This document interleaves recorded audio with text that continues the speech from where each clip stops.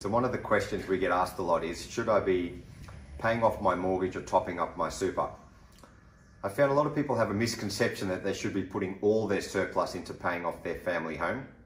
I think it's mainly just due to the fact that people aren't, haven't been educated about the benefits of putting money into super.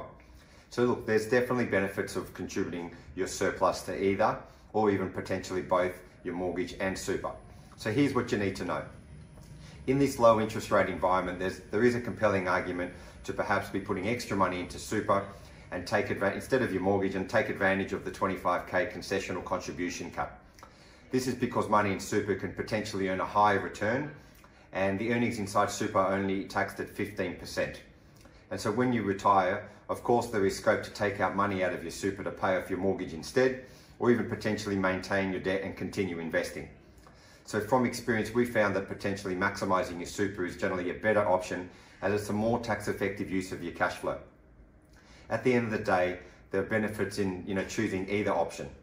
So if you make additional mortgage repayments, this could help you cut years off your loan terms and of course save you a lot of interest. Whereas if you put additional super contributions, this could help you, like I said, be more uh, better use of your cash flow, make it more tax effective and potentially boost your retirement savings.